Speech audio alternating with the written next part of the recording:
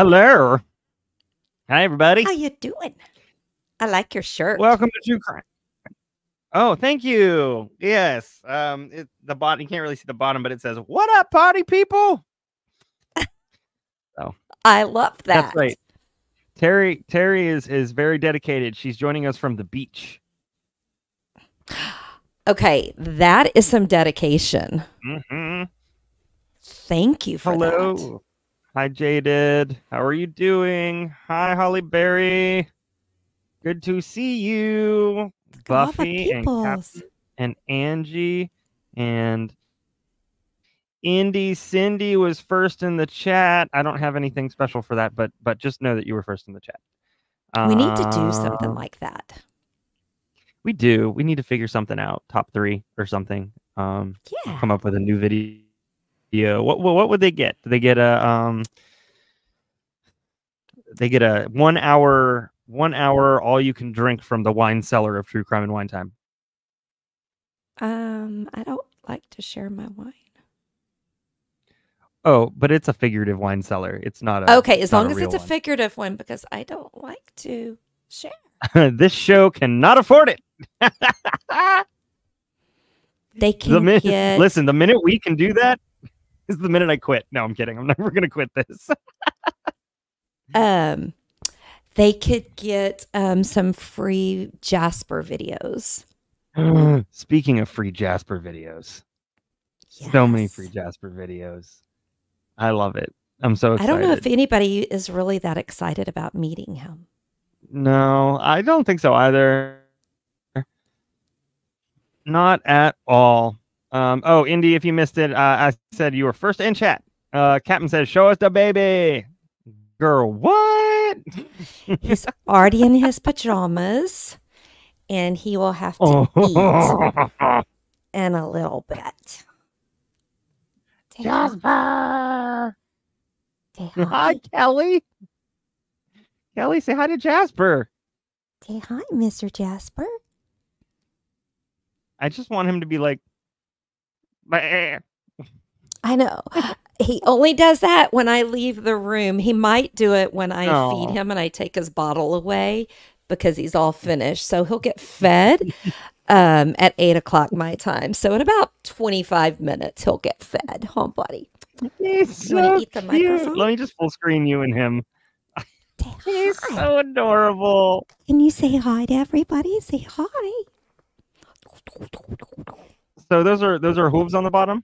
Though uh, those are, Yeah. he has hooves. He did have horns that would have come in, but he had his buds and balls removed last week. So he will get no Aw. horns and he got no balls. No horns and Got no horny. balls. Yeah. Nope. and what's funny, they said his balls were so small. I was like, poor guy, that's not something Ah. you ever want to say. I felt bad for him. You already, you already took him. You don't have to, you know, I comment on it. He is a dwarf goat. like He is, and he's wearing his cute little giraffe and elephant and duck and froggy pajamas tonight.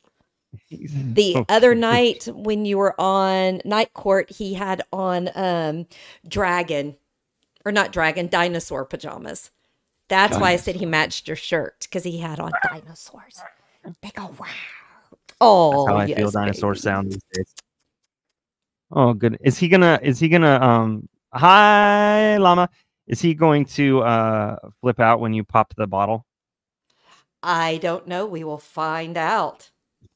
Oh, boy. Uh, oh, all I know is I can't say the word P O T T Y out loud because he goes on command, and I said it one day, and he went in my lap.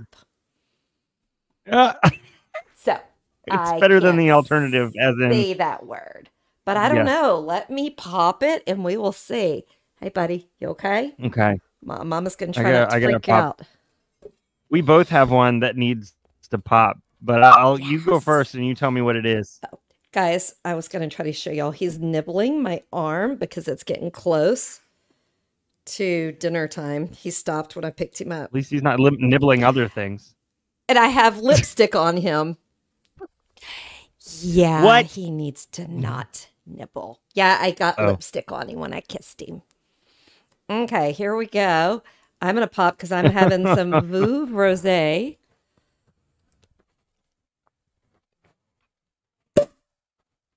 Didn't even move. Didn't phase him. He's too busy trying to suckle my Ah, arm. that is. There he goes. He's nibbling on my arm. But yeah, I'm very pink. I'm drinking out of my Hello, pink Shanka. Barbie glass. And then I'm drinking a, a rose. Yes. Hello, Bacon Bit. Okay. It's good to see you, Shanka and Bacon Bit. Suckling me. Cannibal goats. No, means goats he from wants. Texas, also called politicians. It means he wants me to pet him, and he's not getting enough attention. See, he's Oh, poor Very baby. needy. I want to be your goat. you want to be my goat? I want to be your goat. Buddy? All right, so this is not as fancy as yours, um, but neither am I. I'm not as fancy as you.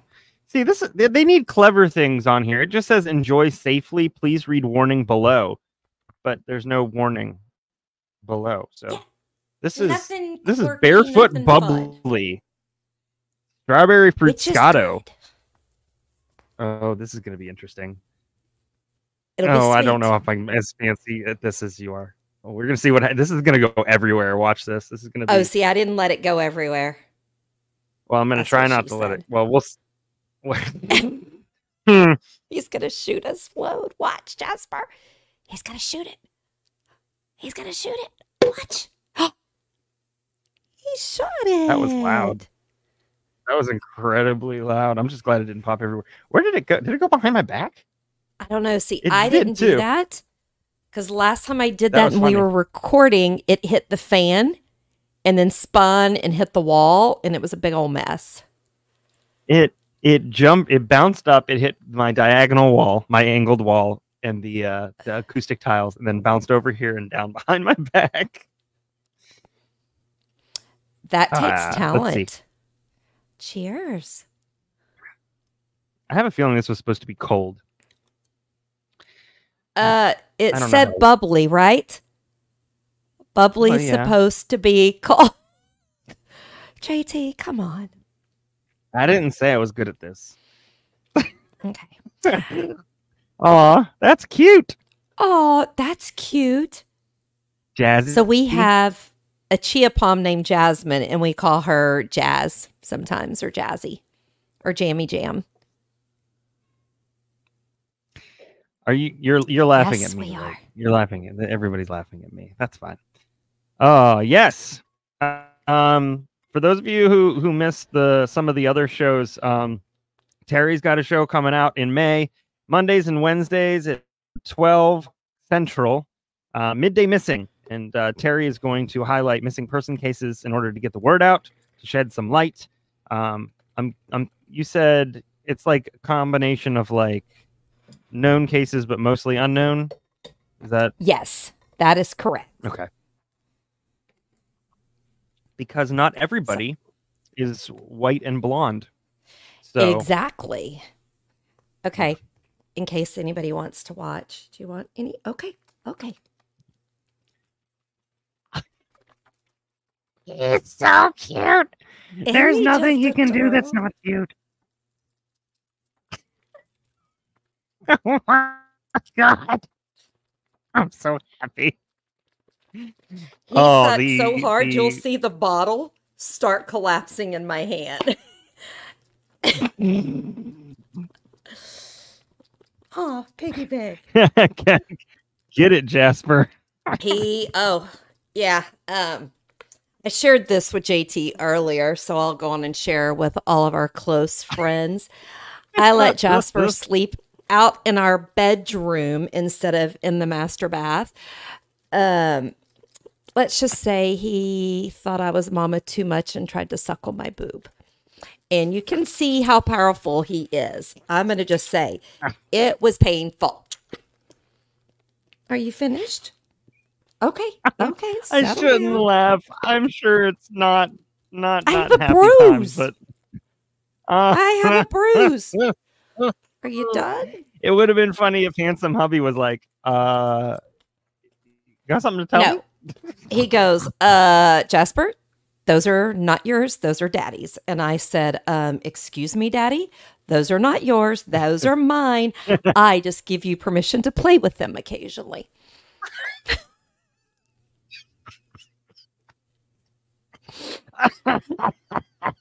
hey, come here, buddy. And no, he does not get burped. He just likes to lay here. Yes, No. Double H found it funny. Uh-huh. Tell Bacon, Bacon Bitch said, she "I needs one. one." She needs one. They You know- are perfect. My brain was so traditional pet wise. I never thought about it. Like if you could have a small goat, it'd basically be a dog. It it easier to house train. I take him outside. I They're say the word, he goes. Oh, he's definitely smarter. Yeah, aren't you? Aren't you? But they are extremely loud. When I walk out of the room, he's got some lungs on him. Oh, really? Hi.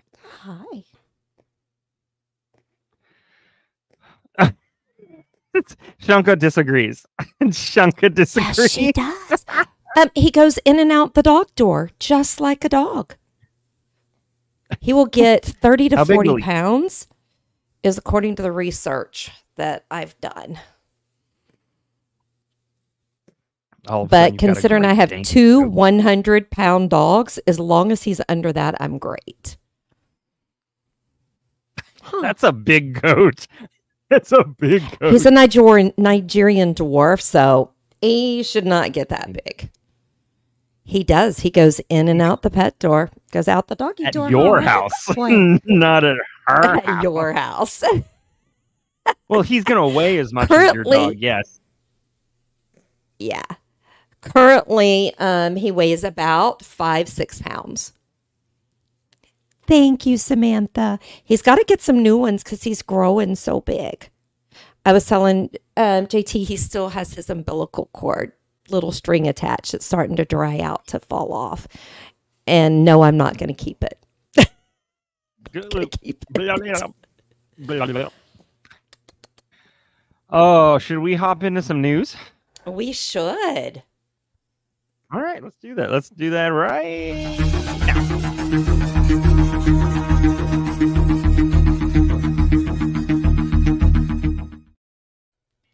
Uh, it's you know it's a little it's a, it's a little false advertising because some of the news that we cover is not going to be so breaking, but maybe it'll be breaking to you. So it's all relative, right? Well, it is, but I'm going to just say something just gave me nightmares. just gonna say that gave me nightmares. Um, we lock it at night so that people can't go through the door. See, uh, absolutely. Come on, tell her to come on to my house. I will be more than happy to take her and teach her how to take care of this little guy. well, um, you know who really needs to learn to take care of themselves? Uh, there's a woman from, um, oh boy, I had the the answer there. You know what? It doesn't matter where she's from. She called nine one one. Uh, which normally people do, and I would not call people out for this. However, an alleged meth user landed herself behind bars when she called Indiana police to rat out her drug dealer, telling cops that the batch was, quote, not what it was supposed to be. Her name's Sarah Harris. She's 34, and she dialed 911 twice in January to complain that she was supplied with a bad baggie of meth. Um, she then allegedly handed the drugs over to the cops at her home in the city of Bedford in hopes that they could test the drug's authenticity. it it left her feeling as though she was having a heart attack. She told the police, "Maybe you shouldn't do meth." Um, Harris allegedly admitted to snorting a line of the substance and then felt something different when it touched her skin and nostrils. Um, she knew it was right. She, She said, "Yes." Um, She, should be thankful the it wasn't fentanyl. right.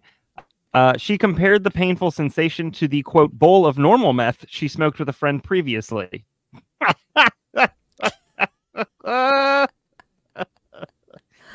oh man, she was slapped with a meth possession charge, um, which carries a maximum thirty month prison sentence.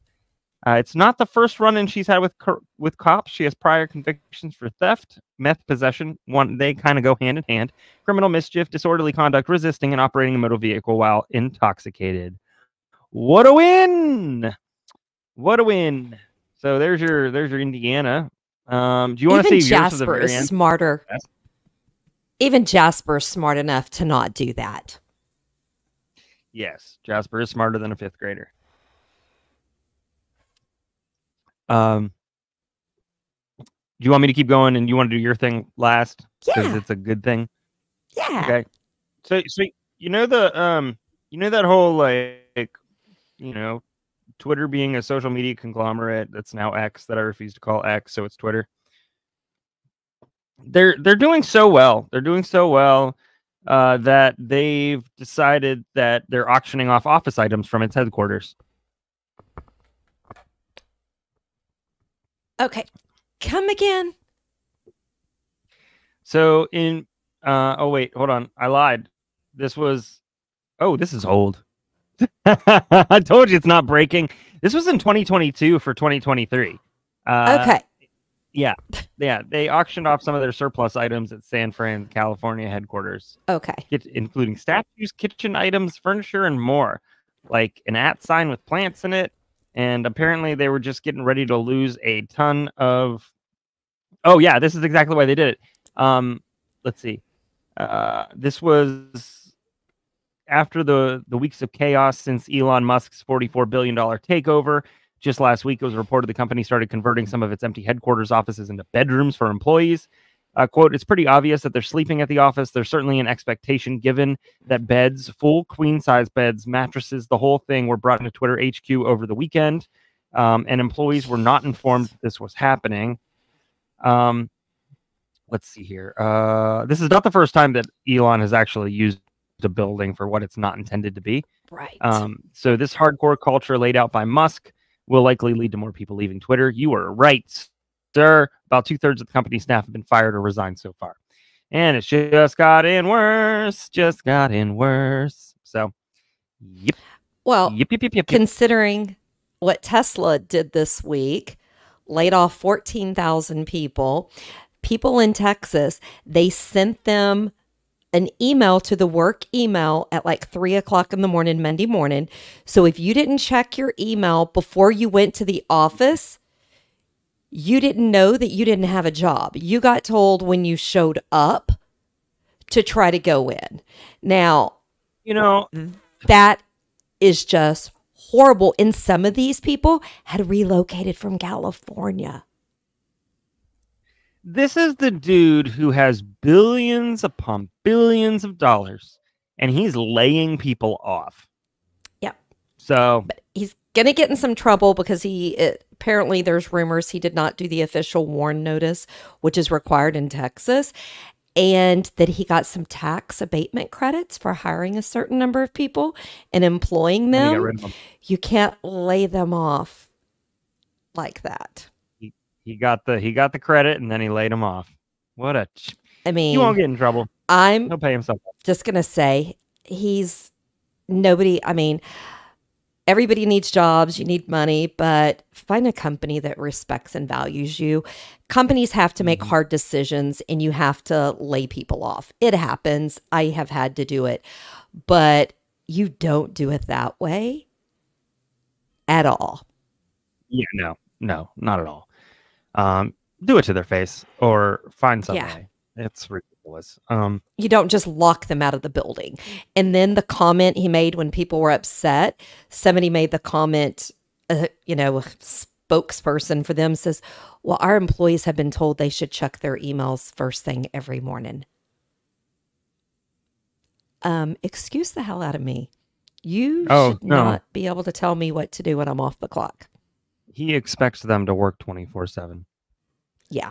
Um, he's just another reason why he's a butt cheek. Um, on a funnier note, uh, there was a man who was who attempted to rob a store. This is courtesy of is this Llama? I think I think it's Llama. I think this is from Llama. She can correct me if I'm wrong.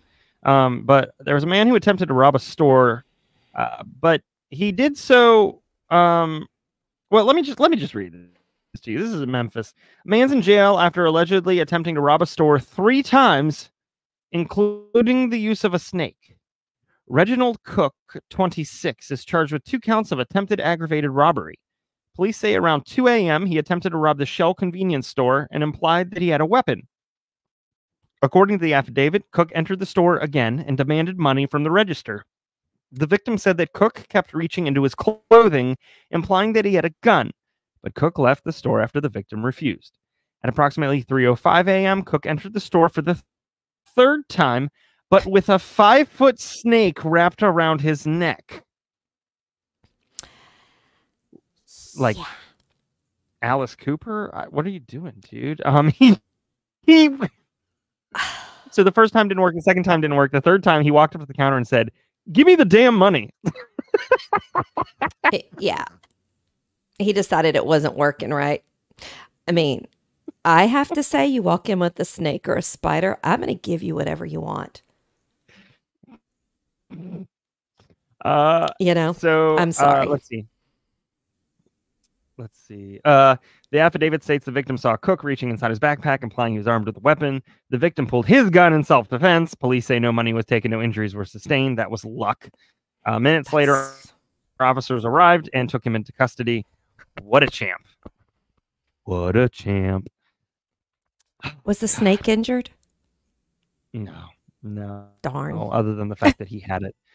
Um, let's see. Okay, I got two, two, two more. Uh, this one's quick. This is more sciency, but um, oh, this is old too. What was I doing when I was looking these up? It doesn't matter. The world's deepest fish was caught on camera for the first time by scientists over twenty-seven thousand feet below the surface, which is insane.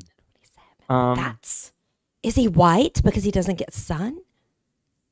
or, I like, am opaque? looking for a picture of this thing. Actually, I can show you a video real fast. I can show you a video. Thank you for burping. He's kind of cute. He's kind of cute. Let's see here. Present share screen. Dark screen. All We'll be the judge of that.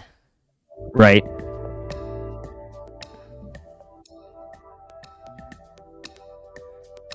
Baited cameras. That's so deep. The snailfish species. He's so cute. He is seeing he's white. Yeah, they're not like creepy like other deep, deep fish. Yeah. He's even smiling. Okay, well, the He's side of him kind of looks a little bit like a testicle.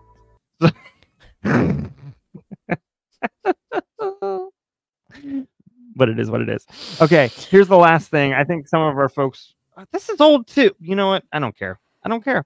I don't care. Oh. What's up, Miss Swagger? Swagger? Swager? Meh. Meh.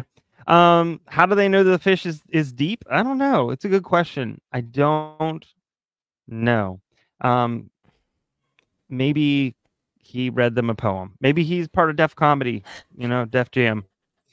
Uh, who knows? Uh, anyways, back in 2022, because that's where my brain's at these days. Um, they found a skeleton of a woman in Poland who's suspected of being a vampire in the 17th century.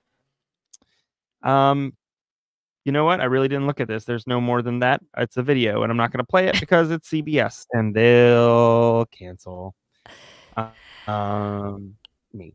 So, not as much fun. But you have something better. I do, it the Diddy fish? I bet you he wish was he was. So this first thing I have, because those that don't know, besides loving goats, I love elephants. Elephant roams streets of Butte, Montana after escaping from the circus.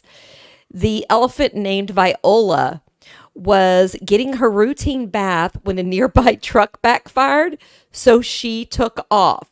They have pictures of her running down the street.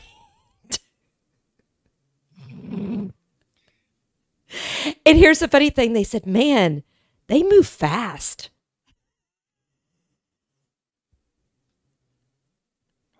I don't know. Yeah. Oh no, so elephants funny. move. I'm like, just because they're big doesn't mean they can't run. But now the other one is good news for everybody in the US. Wendy's is giving out free french fries every Friday for the rest of the year. All you have to do is make a purchase. It can be a frosty and then you can get free french fries. There is no minimum. So, Friday, Friday, I like French fries, French their fries, French fries. So that's Yeah. my really good news because that is 37 Fridays for the rest of the year. That is 37 orders of French fries. Do we have any panda news? Oh, Hmm. let's look. My older son loves pandas. How about Panda the Express latest news? panda news is blank. Giant pandas. When was this out? Let me take a look at the. Oh, this is newer. No, it's not. Yes, it Did you find the San Francisco one?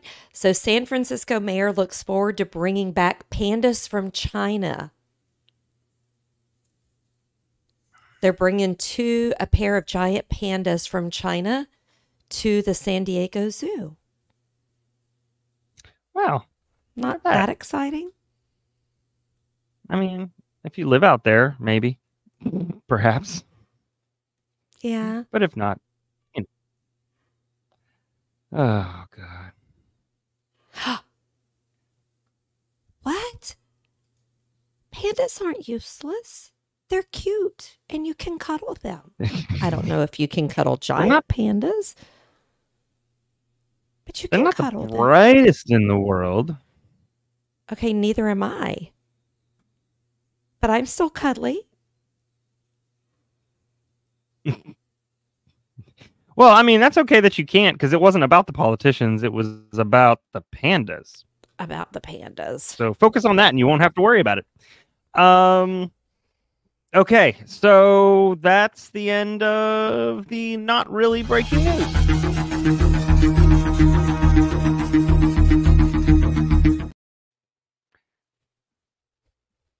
But it's kind of the start of our cases. Um since you've already fed Jasper, do you want to go first or do you want to go second? I can go first. Since I Okay. have fed him, I am going to have to convince Double H to come and get him at some point to take him out to go to the bathroom. Ah, I am having trouble getting my computer to cooperate. My computer just froze. What is going on? Okay, there it is. Buffy, that's that's because most of them have syphilis. So there's that. So oh my. Well, I can tell you this. My case is not about any cute animals. I will say the bank robber in this movie or in this movie, oh my god, my brain. Um in this Mhm. case wanted to be like Bodhi, aka Patrick Swayze in Point Break. He uh-huh. literally watched the Point Break movie to get this idea. So I personally found that funny because I happen to love Point Break. all right. Bring it on. I am trying, but my monitors are not cooperating with Oh, me no. tonight. It's okay. My stuff's not It- either.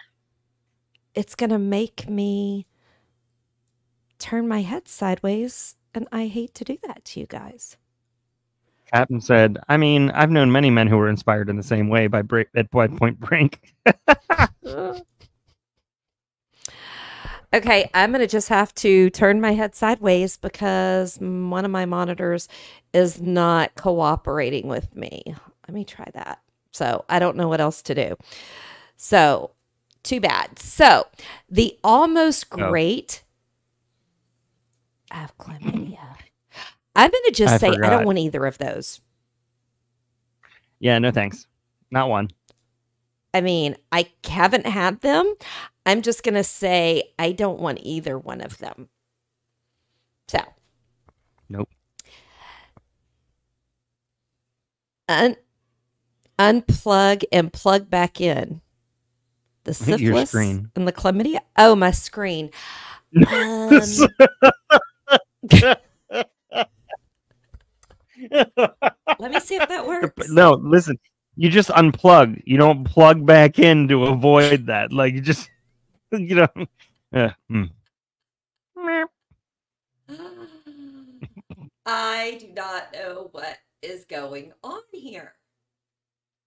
I think your mic changed. Is it better now? Ah, there it is.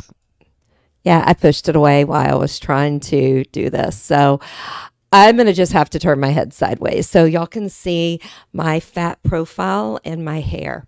So this robbery is kind of ingenious in a way, but yet they were stupid because they got caught. So on September 21st, 1991, in San Antonio, Texas, tellers Lisa Silvas, age 19, and Kelly McGinnis, age 21, not the Kelly from Maverick or Top Gun, but they were trusted employees of the Texas Commerce Bank. And they were the only two working the bank on that Saturday from 9 to 1. Guys, this is a 19 year old and a 21 year old. They were in charge of the whole bank.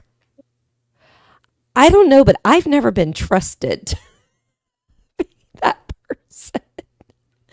So Nope. I found that very Nope. interesting.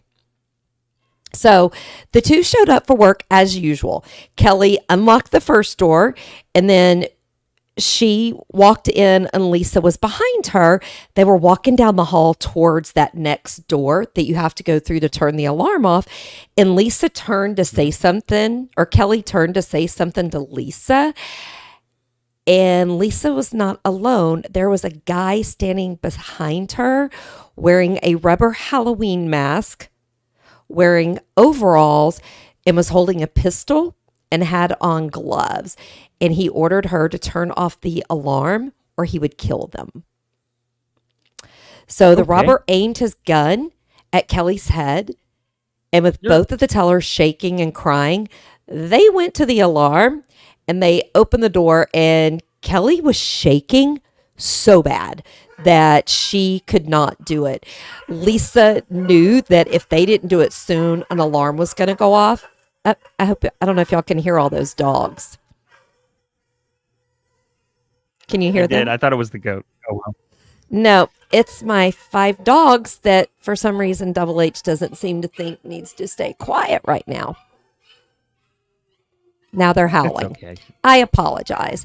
So Kelly was too shaken up to turn the alarm off. So Lisa took the keys and she turned the alarm off because she was worried this guy in this mask was going to kill them.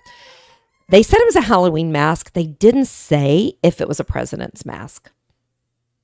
I kind of hope it was, It was. since they said he watched Point Break. I hope. Yeah. I mean that checks out. I, I, I think so. There was a piece of me that was hoping it was a Will Shatner mask, but then that's where they got Michael Myers mask from. So it's not that. Did you know that? Did you know Mike Myers mask was originally a William Shatner mask? William Shatner mask, yes. yeah. Um, so after the alarm was turned off, the robber secured Kelly's hands with zip ties, and then with his gun, he had Lisa take him to the vault. Inside the vault was multiple safes. Safes. Now he told them that he had a police scanner in his pocket, and if he heard anything about a silent alarm being tripped, he was going to kill them both immediately. Now, the safes inside the vault had a double lock setup. So Lisa used the key to unlock the first lock. Kelly, whose hands were tied, called out the combination to her and the masked man, and they unlocked the second lock. And then Lisa was given a large trash bag and told to fill it with all of the cash. And then the robber took them over to their cash drawers and told them to empty their drawers into the bag as well. After he emptied the vault and the cash drawers, he ordered both of them to stay in the vault and he left. He literally got out of there in less than five minutes. And he escaped with he, almost um, $200,000. Did did he lock them in the vault or did he just have them sit He there? did not, but he told them if they Uh-huh. came out, he would shoot them. So they waited a couple of minutes to make sure that he left. And then one of them hit the alarm. Kelly hit the alarm and then was calling their supervisor after hitting the alarm while Lisa called 911. Because they were shook up. I mean, 19 and Yeah. 21. And this is like nine o'clock in the morning on a Saturday. And guys, Yeah. it was a motor bank branch. So him coming in behind them, that was the only way to get into that bank building was to come in through that door. So they um after the cops got there, the cops let them call their boyfriends. Kelly was able to reach her boyfriend. Lisa unfortunately could not reach her fiance, Jack, who was a second year police officer with the San Antonio police and had worked the night shift the night before. So he turns his phone off and he goes home and goes to bed. I mean, makes I get it. She tried to page him, but he didn't answer his pager. But he did call back sometime later to the branch and heard what happened. And being a police officer, he didn't immediately go to the crime scene because he was like, they don't need another cop who's off duty getting in the way.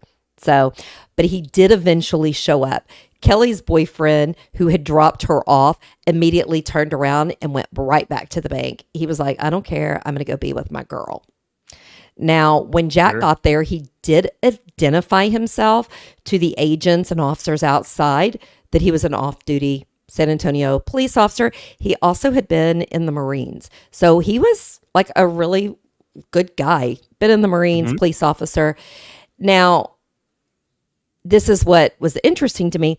The bank executives and bank managers, they were happy to see Jack because he was such a good guy who's highly decorated Marine and a respected San Antonio officer. While they're on the scene, one of the executives said, Hey, when you're off shift, would you come to security for us? Because all of our employees are going to be scared shitless after this. And he said, Yep, I can start next week, which I was like, You know, that's cool because here's something that's interesting. This bank did not have security cameras. Nowhere. Because it was a motor bank, they didn't have people coming in and out except for the employees. So they didn't think they needed them. And I'm like, So that I mean, like I, I get that, but at the same time, you really need to be looking out for the safety of your employees. You have a ton of money in one central location. If you want to even look like you care about your employees, yeah. Yeah. I mean, I I don't know because they could have driven up in a car and pointed a gun at me and I would have shoved all the money in the drawer and given it to them cuz money is not worth it. My life is a little bit more important. See? I agree. Now, they got away he got away with almost $250,000. Here's the other crazy thing. The bank didn't use dye packs. So there was no dye oh. packs for the teller to throw in with the money as she put it inside the trash bags. So, so they they I'm actually like, didn't have any. They didn't Right. choose not to because they were so scared. They they didn't have any on site. that's insane. I mean, two hundred fifty thousand dollars. Now, as everybody knows, when you have a bank robbed, FBI gets involved immediately, right? So federal investigators showed up as long as officers. They were stumped as to how the bank robber knew exactly when the tellers would arrive. Okay, guys, first thing. Um, if the bank opens from nine to one, couldn't you just park outside and know they're going to arrive between eight thirty?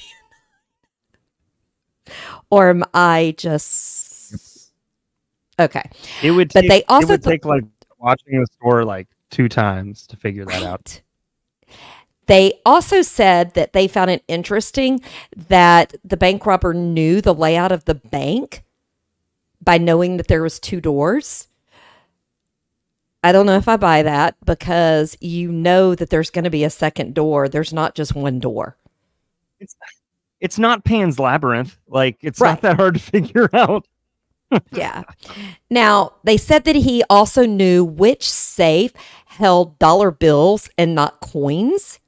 But in one article I read, it said that one of the tellers said which safe had the um, cash in it instead of coins. So I don't know if that says anything either, either, but hey. But Kelly and Lisa were both former high school cheerleaders.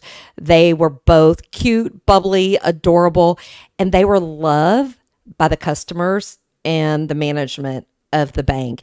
In fact, one article talked about some of the old men would come on the days that the young girls worked because they wanted to see the pretty ladies when they made their deposits.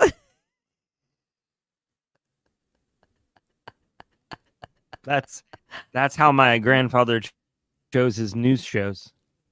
I was like, oh, part of me was like, oh, that's cute. And then the other part of me was like, okay, that's just rude. But at first I was like, And oh, how all of sweet. me was like, all of me was like, ugh. yeah, I was like, okay, a little creepy. But Lisa and Kelly were both hysterical when talking to the police after the robbery. And I I totally could see that. I would have they would have had to give me a sedative. Somebody holds a gun to my head, they're going to need to give me a sedative. Now, something that police thought was weird was that when they asked each of the girls, you know, to try to give a description, height, weight, and stuff like that. Well, Jack was standing next to Lisa and she looked at his head and she goes, Oh, about that high. She goes, and probably about the same size.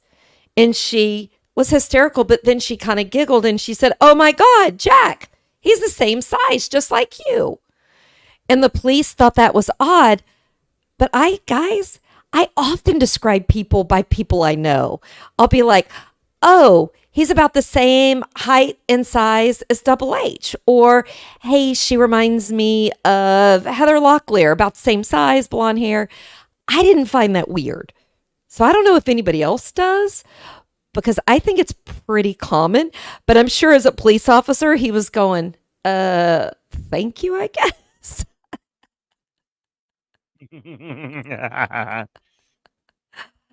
So now, immediately after the robbery, the officers and FBI agents searched the surrounding area looking in trash cans, behind bushes.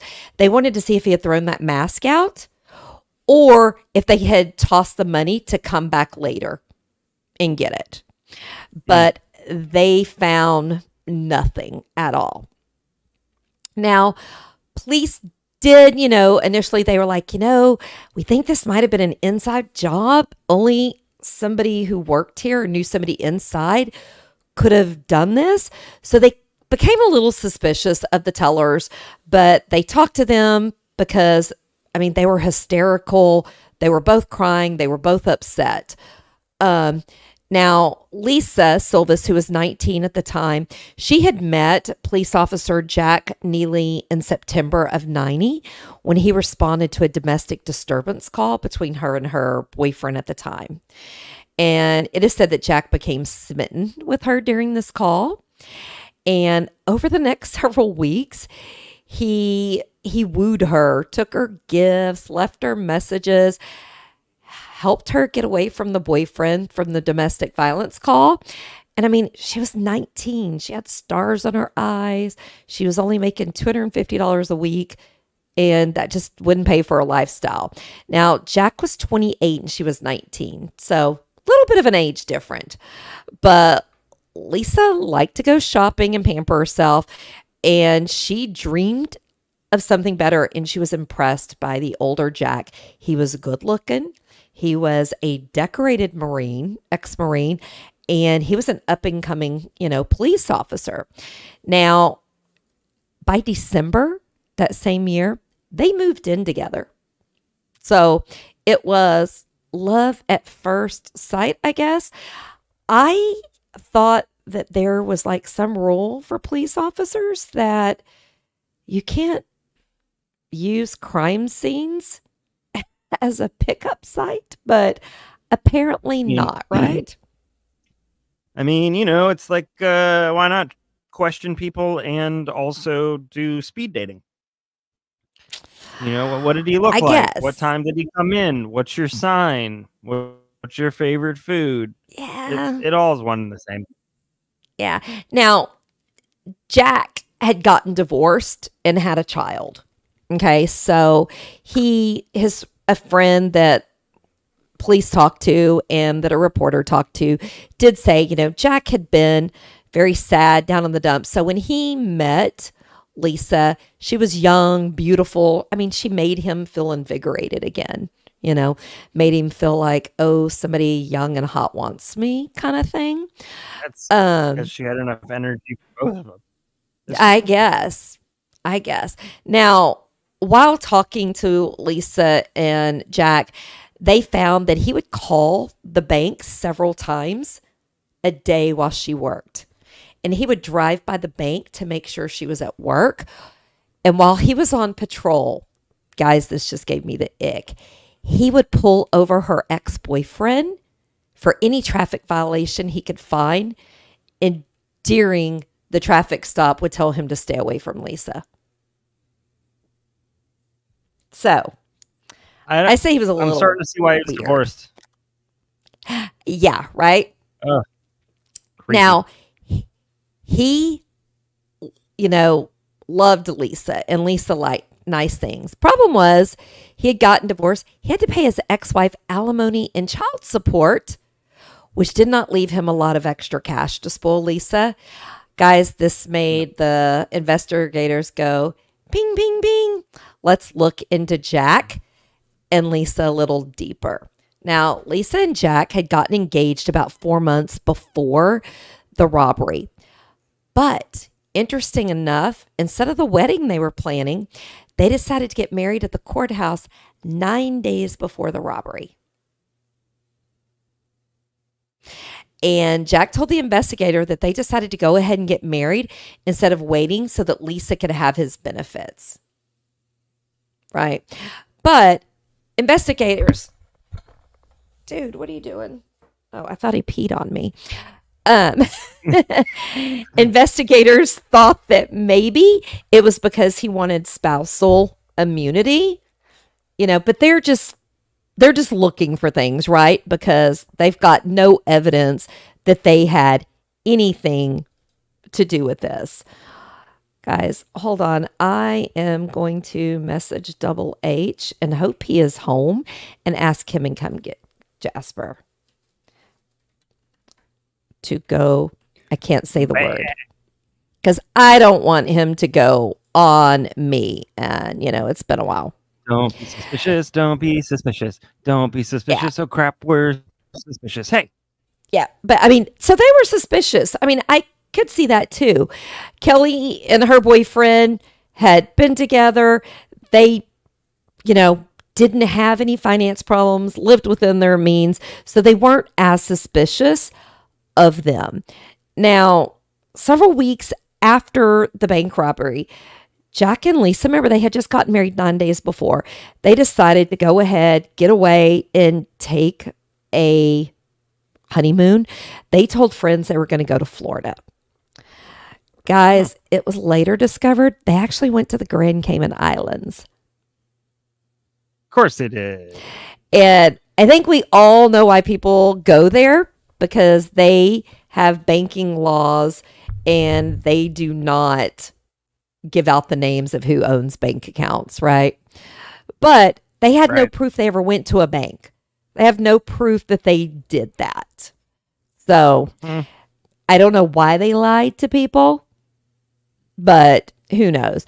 but the police could not prove that the couple actually went there to hide money, and they didn't have any evidence that they were involved whatsoever. Okay. So they had to keep looking at suspects and try to figure out who did this because they had no clue, no hints. Well, they went to go and talk to Jack's mom and stepdad, and nothing came to light during the visit. They were like, okay, this, I mean, Jack was at home asleep. He, they confirmed he had worked the night before. There was nothing. However, just days after the investigators had visited the parents, the stepdad was out walking around on their farm and he saw an area that had been dug up and something buried.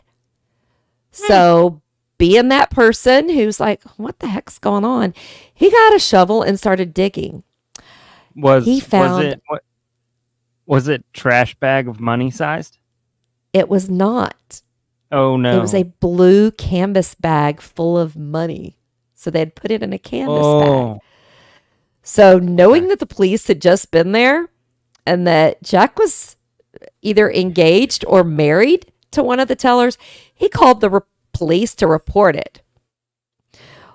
mhm. Well, guess what, folks? The Texas Commerce Bank did not use dyed packs, but they did use what is called bait money. I found this so interesting. Bait money is bills with serial numbers that have been recorded and put into a Yeah. system and used to track stolen money. Now, the branch had 10 of these bait monies in each of the teller's drawers and 20 in the vault. Well, when police checked the serial numbers, guess what? They were inside the blue bag of money that Bill had found on his property. Now, the other interesting thing the bait bills were separated from all the other money and were rolled up with a rubber band and a note that said Mexico money in Lisa's handwriting. and the police speculated they were labeled for Mexico because using them in Mexico, they don't check serial numbers of American $100 bills like we do in America. So, also, at the bottom of that blue canvas bag was a souvenir keychain that Lisa had picked up just a little bit before at her high school reunion. They did a re- one year reunion and she kept One the year. keychain. One year. one year reunion. They wanted to get back together. So, in October of 1991, Jack and Lisa were arrested. Okay. Now, all but $95,000 were recovered. So, they didn't go to the Cayman Islands to put that money because why would you only do 95,000? right? Right. So they pled not guilty, but they were both held without bond. They were both convicted. Lisa was sentenced to 13 years, and Jack was sentenced to 15 years. I didn't think that was very long. Mm-mm. No. I didn't. Now, I was unable to find where Lisa is today. And I will tell y'all, I went down some rabbit holes. I could not find her. But I was able to find Jack and where Jack is right, and what Jack. Jack's been doing. Jack What's did not learn his lesson. Uh, Yep. In 2012, Jack was arrested for being a felon in possession of a gun and impersonating a government agent. you know, leave it up to a name like like Jack or Joe or Ethan. They never learn their lesson. These guys never learned their lesson. Yeah. So, I mean, he was 28 And when he went to prison, he served all of his time, got out, did this stupid thing. All of the articles say he was acting as a big shot. So he was taking people around. He was arrested outside of a big old country club, you know, dance place, and was basically acting like he was some important government guy and was carrying a gun. Okay. He was sentenced to 41 months in federal prison and then had to be on three years federal supervision after his release. Now, he is not deceased, but he's either staying out of trouble or he hasn't gotten caught again because I could not find any updates. He is, excuse me, not in prison anymore. So he's been released, but there is nothing about him since. So I'm guessing he hasn't been caught. Nah, he just moved. And he and Lisa are not together. Not that together. checks out. That checks out. So um she did give an interview later saying that Jack did it. She didn't know it was him at the time because he had a mask on. But it Uh-huh. was her handwriting. They did an analysis. It was her handwriting that wrote Mexico money. So whether she knew at the time, the other thing, he put police issued zip ties on Kelly, put the gun to her head, never put it to Lisa's head. Lisa was never restrained. And Lisa's the one who walked him around to everything. So I don't know what Kool Aid she's drinking, but nobody bought it. So that is my case about the almost greatest bank robbery. Almost. Almost. I mean, there are so many. It's like, why would you bury money on your parents' property? I mean, I don't know. It must be like a subconscious, like that's the safest place I know. So that's where I'm gonna go home to. So yeah, weird. no. I did read articles them blaming it on the fact that Lisa and Jack both grew up without dads because um, Jack's was a junior. His dad was um, a doctor and had flown in his private Cessna somewhere, drank a lot of drinks, and then tried to fly home and crashed and died. So Jack So grew up without his dad, but he had a stepdad and mom. And Lisa apparently didn't have a good life. But guys, she was 19. you know, And I'm sorry, if you're 19 and a good looking 20 year old cop, I can see how you would make the dumb decision to do what he asked. Yeah. Uh, you know, I got a lot of friends that didn't grow up with a father, but they didn't end up robbing a bank. I think he just wanted money for to get out of whatever and get out of there and not have to deal with any of the responsibilities that he had. And she just happened to money present. so he could I, spend yeah. it. But yeah, so so that's fun. I'm hoping that she has turned her life around and that she either got married, changed her name. The thing that was interesting, and I tried to go down the rabbit hole, but there is a Kelly McGinnis who was a prosecutor in the same county where these bank robberies happened, but now it's not her um, because this woman's previous maiden name was Flanagan. But at first I saw it and I was like, oh my God, she went to law school and decided to become, but it wasn't her. I was so She excited. went, she went from Flanagan to McGinnis. Yeah. So uh, wasn't her, but yeah. I can't find Kelly McGinnis either.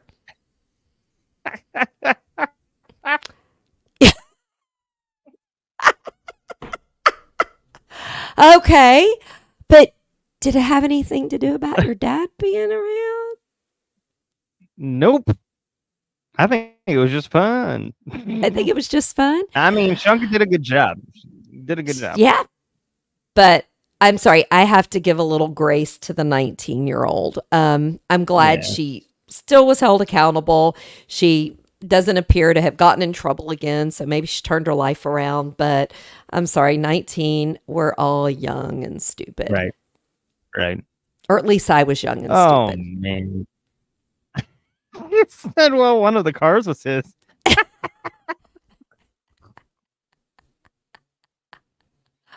oh, Oh my goodness. Well, you know, I love the fact I love the fact that both of our cases didn't involve people dying. I know Uh, because that that is so rare For us, yes. for us. Nothing dark. Uh, now- no, but and and both of ours. What? Hmm? Before you start your case, I'm going to go give this guy to Double H because I do not want to Okay. um, be tinkled on. I'll be right back. That's a good idea. Say bye bye. Say bye bye. Say bye bye. Bye bye. He's so cute. I want a goat now. I want a goat. And then I want the goat to show up my dogs and be like, why can't you do this? It's been this long. Why can't you get this right? You know? That's all I'm saying. That's all I'm saying. I do. I have a Casper, but Cas- Casper Casper is a beagle mix and he's not smart at mm. all. Shame on you. Maybe it's the owner. I'm just being honest. Maybe it's the owner. It probably is. I mean, they usually take the characteristics of their owner. How old is he? So it makes sense that he's quirky. Two. And some change. oh, he's he's still got time to get smart. Well, I can tell you Double H isn't very smart Uh oh. because I stepped out and I said, in "Hey, your lap?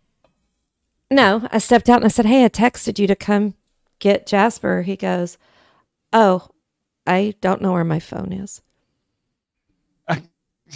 Well, I mean, if I could lose my phone, I would too. He never responds to text. Um, all right. So not only did both of ours not include death, but they're both in the 90s. So what a decade for robberies, huh? What is it? I'm an 80s baby driving a 90s Mercedes? Or is it I'm a 90s baby driving an 80s Mercedes? There's a I think song. it's that way. That makes more sense. Okay. I, I think it'd be weird if you were an 80s baby driving a 90s car. Well, no, not if it's like that. I don't know. Is it if it's because country, you're a know. 90s baby, right?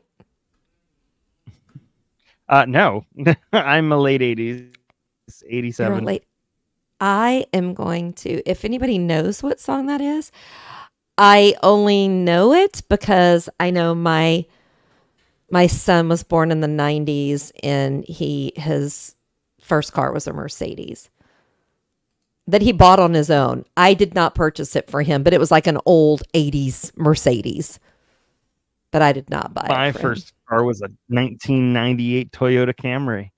Mm. I had a um Toyota Celica Mm. with little louvers I don't know. on the window. Oh, You no. know, Shunka, you may be right. I tried to highlight and show. See, my computer's not working. I don't think he wanted to come and get the damn goat either. Up, I just heard Casper scream. Not Casper, Jasper. Scream. Is he a screaming goat? Ah! he is. When he can't find his mama, he not happy. We got a 92 Chevy Lumina. We've got a 72 Cutlass. Ooh, was it a, what were they called? Like Cutlass Supremes or something? They were like long boats. Dang! It was a Cutlass Supreme, yeah. All right, so I wrote this first sentence and I didn't think about what it was, what it implied, but I'm going to say it any- anyways because I've already committed to it. Uh, we all like easy things. some of them are expensive, some of them are 35 cents. So, um, we've kind of been conditioned to enjoy the easy, and uh, you know, I, I don't really know why I'm starting the case like this because a robbery is a hell of a thing to set up, carry out, and get away with. Uh, uh, and while the payday's immense, the question is, is it worth it? Once you have all that money, what do you do with it? Um, cue Brewster's Millions, right? It's like I have to get rid of it. I've got to use it, but it can't be like you can't like it can't attract attention. right. Um, so we're going back to 1997. I think that's 27 years. I don't know. I don't math. Uh, we know this. I don't math. I don't gas math. I don't timeline math. I don't. I don't math. I think it's 27. I did it in my head. If it's wrong, eh, oh well. Uh, I don't like the fact that it was 27 years ago. I can say that much right now, but it was. Um, let's let's add context to the case because sometimes like when I get like not shorter cases but more like to the point cases, I like to add a little bit of something in there just to give it a little more. Um, let's talk about what was going on in '97 in the U.S. So the president's Bill Clinton. I'm nice guy.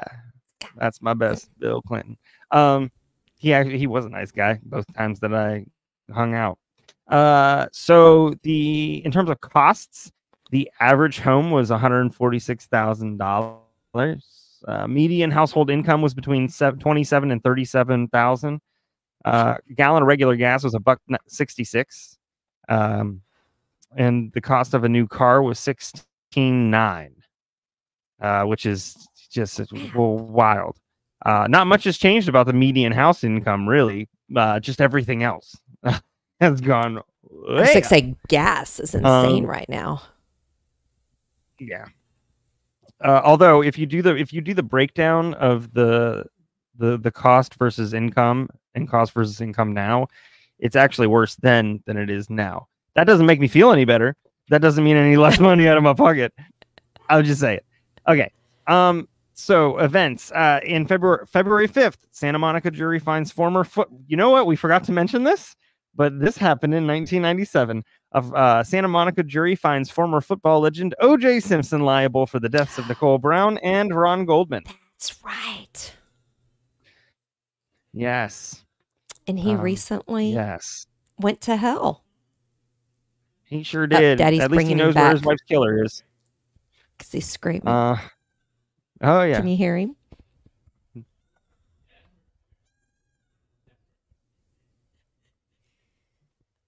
Mm-mm. Daddy's bringing him back. Mommy! Yeah, he's like, "What, Mom?" yes. Speaking of expensive cars, you are correct. They are trying to sell O.J. Simpson's runaway car. Yeah, for like 1.5 million. I mean, Yeah. really? Nope. Is that money going to go Um, to the Goldman family or the Brown family? Like, who has the car? probably the, the police. Um, uh, February 28th, 97, North Hollywood shootout with two heavily armed bank robbers. Um, March 9th, Notorious B.I.G. is killed in a drive by shooting. March 26th is when the Heaven's Gate cultists commit mass suicide. June 2nd is uh, Timothy Vic- McVeigh's convicted on 15 counts of murder. And then just a, a week or two later, he's sentenced to death. Uh, June 28th, Mike Tyson bites Evander Holyfield's ear and takes a piece off. And now he is promoting his weed gummies that are shaped like an ear. Um, He's boy, what? The world's a weird place now. Yeah, he's he's made weed gummies and they're shaped like ears. Um, That's just weird. Uh huh. Um, August 13th, South Park airs its first episode. December 19th, Titanic premieres in 1997. Oh, wow. Um, yeah. Uh, in terms of, uh, so, so, you know, that's just some of the 97 stuff that I could tell you about. There was a lot going on. Uh, I never really understood the concept of, quote, back to the good old days. I think what Oh. people really mean is they want to go back to when they didn't know what was going on around them. Um, no, I'm going to were- tell you 97 was a really good year for me. I got divorced from the first POS in 96. So 97 was fabulous. I was a single mom of two boys, and I did not have to put up with the controlling POS anymore. So 97 was a really good year. And I started Well, dating listen, a hot guy who was really good in bed. Hey yo, was it that one dude? No. Never mind. Um so but like overall, you know, what people really mean is overall I think they want to go back to when they didn't know what was going on around them when things were quote simple. Uh, but they weren't simple because they were simple, they were simple because we were young enough to be able to ignore it, not be informed and it was okay. Um things were just as crappy back then as they are now. Um so we just didn't know it. Yeah, no. Uh, September 12th, 1997. Six people are involved. And it was at a Dunbar armored facility on Mateo Street in downtown LA, California. That's right. I said Dunbar armored facility, not a car, not a bank, the Dunbar facility itself. You can bring him in. Um, yeah, Double H, come on in. Oh, I thought I muted it, so you didn't hear that. He uh, comes. Oh, I think I heard him. Did I hear him? Yeah, you heard him. Come on in. Hi. Come here. Come on. Shunka said, "Bring the goat." Come here, baby. Mama didn't weave you. Okay, sorry, guys. Cute.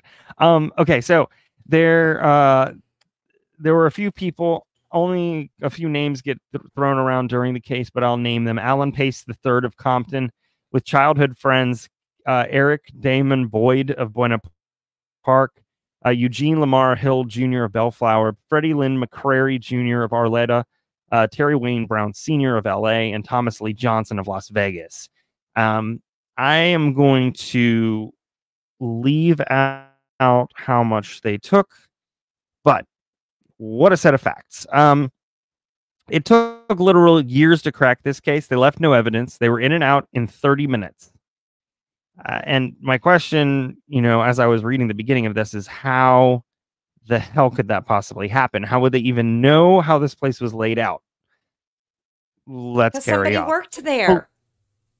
Right. Police suspected suspected it was an inside job. All current and former suspects were considered. All current and former employees were considered suspects. Um, while being questioned, a name came up over and over and over again: Alan Pace. Pace was a former security employee of Dunbar and the depot where the robbery took place, and I mean recently former employee. And I'll explain that in a second. Um, he worked at the facility for a grand total of a year and a half. Not only that, but he was the safety director for the company when he was described, they said he was a normal guy. He had no criminal record from what I found. He he grew up middle class in Compton. Something that um, Alan used to do uh, at his job was prank people. A lot of folks really enjoyed this, even if they were the ones being pranked. He seemed like a down to earth kind of guy that I probably would hang out with, honestly, but he didn't have any like qualities that would lead people to believe he would be capable of something like this. But that's kind of the perfect setup. Um, yeah. Pace knew that if he was going to do this, he was going to need a little help. Uh, where else can you get a little bit of help but from your friends? If it's good enough for the Beatles, it's good enough for Alan Pace the third. What? oh, oh, He's trying to drink Jasper, champagne. Jasper, you can't. You, you, your head's too big, man. It's too. He's Sorry, guys. he looked at you like, really? You gonna do that? Um so uh so he decided to go to friends. He could trust these people. Uh none of them had police records. Most of them spent nights doing bouncer jobs in nightclubs around LA, so there was a reason for them to be around. Um before the robbery, excuse me, before the robbery, they sat down, had a serious meeting. They promised something to each other, a pact. Uh, they said that if anyone's arrested, they would take the fall for everything and not implicate the others. And Pace was the leader of all this. Of course, eh, it's all well and good to talk about it, you know, agree on it, shake on it, bleed for it. But what happens when the light's in your face and what happens when your back is against the wall, right? Um, we'll find out. You So, see? This robbery was set, right? Uh, this robbery was set to be a one time event. This would have them set for a while. Um, of course, you know, without the knowledge of how high the cost of living was going to be and income was going to stay, how it was at the time, it just, it was wrong all around. Um, but it didn't matter. This was the goal. Allen was able to provide them with a diagram of the facility. While he was working there, he did his homework, did not waste the time. He took pictures from the outside and the inside, not only of the locations, but of the video cameras in the hallways. He wanted his team to be able to visualize everything. He took photos of security guards. Uh, so he, you know, he did the research, uh, and now it was time to write the plan. He put down the steps they have to take, how many, how to avoid the cameras, how to take down the armed guards, gain control of the security command post, enter the vault, load the cash, and leave. Not only that, but he planned to take all, do all of this in less than 30 minutes. Now they knew all of the entrances and exits by driving by a few times. Imagine that. They knew just by driving around a few times. The cops were confused in Texas as to how they knew there were two. Exactly. Uh, so, um, but when they drove, they chose to drive by weeks ahead of the robbery. So they didn't do it anywhere near um, when they were actually going to do it, which is really smart. Um, so all this time, Pace is still working at the facility. No one suspected a damn thing. Um, but as fate might have it, on the day of September 12th, he got a call that he was not expecting. He was being fired because of the pranks he was pulling. Uh, when they finished up the call, the last thing that they said to him and it was basically they asked him to turn in his keys the next day. Now, you can bet they regretted not asking him to bring them in immediately. oh, Why? Because Pace knew what he had to do now. He called everybody up and said, We're doing this tonight. And the timeline had moved up. Pace gave everyone their instructions and they gathered together. They didn't gather at any one house. They met up at a house party in Long Beach. With this, they established their alibis. They hung around for a few hours, left quietly, changed into outfits, masks, because, you know, what's a robbery but. I'll make it. What's a robbery but kabuki theater that actually makes somebody money? That's, that's pretty much what it is. Yes, banana in the banana in the tailpipe. Oh, that's from Beverly Hills Um, Cop with Eddie Murphy. Yes, it also sounds like a really bad Friday night. Uh Depends on if you like a banana in your tailpipe. fair, fair. Um, okay. So they drove to the facility. They entered through the side door right after midnight. Eugene Hill was asked to rent a U-Haul truck. This is what they would use as their transportation. So they entered through the building. They found uh, and found that not being seen was was was their first hurdle. That's that's the thing. You don't want to get caught before you need to make a move. But it's almost like Pace like took like a metal bandsaw and just cut the hurdle down to where they could just step over it. Because while he was wor- working there, he conned a fellow employee. Uh, it was a couple of things. He conned a fellow employee who owned a truck that had a television monitor. The truck was always in the same spot, so they used that. They hugged the wall when they came in, and um, and he did a couple other things too before he left. Now Pace again was supposed to return his keys the next day. He used that key to get inside. On top of that, they had codes. They never addressed each other by name, only by numbers. So they each had a number, and that's that's what they went with, which is really really smart. I Um, say that's pretty smart. yeah. So the security cameras in that facility pan, right? Pan left and right. And so Pace actually timed out the intervals of, of the panning. And they walked by undetected, taking turns as they crossed over in the hallway when the cameras were not panned towards them. Um, the one thing they didn't have was a key to the vault, but his coworkers did. Uh, not only that, but they planned their robbery around the time in which they took their lunch breaks. They usually left the vault open during this time because of the deposits that were coming in. Uh, when the employees' lunch break began, they tied they they were in there waiting for them. They tied them up with duct tape and they took their key to the vault prep room. Um, so the prep room had a camera that that they couldn't avoid, which I mean, th- th- that sucks. Um, they'd done such a good job so far. Uh, there was just no way to avoid this one. Um, I'm just just gonna make sure that I have something correct. Uh, You're always correct.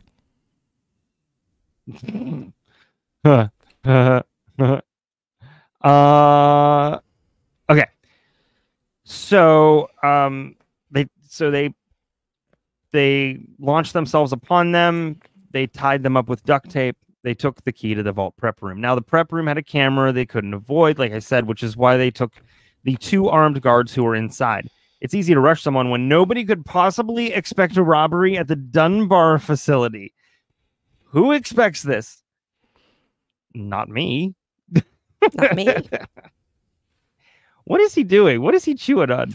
It's hay. It's alfalfa hay. Oh. uh, I thought he was just shaking his head at me like in an affirmative. no, it's Um, alfalfa hay. No, okay. Well, that's all I need for Carrie to be like, yep.